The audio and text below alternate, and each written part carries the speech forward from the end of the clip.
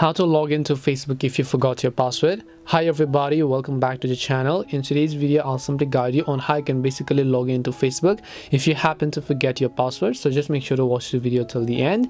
In order to log into your facebook account if you forgot your password you just want to reset your password. So open up facebook.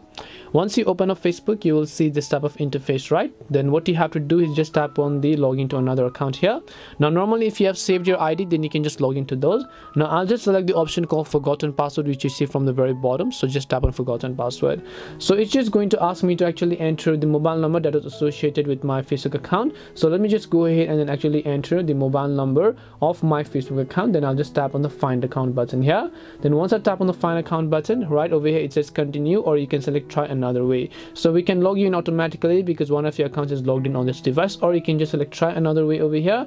And then you can either choose your password to log in or you can continue and then you can just log in automatically so you can see you can simply log into your facebook even without entering your password as long as some other accounts are actually logged into this. So hope this video helped you and if it did help you then make sure to leave a like and subscribe to the channel. And if you have any questions feel free to leave them down in the comments section. Thank you very much for watching and see you in the next video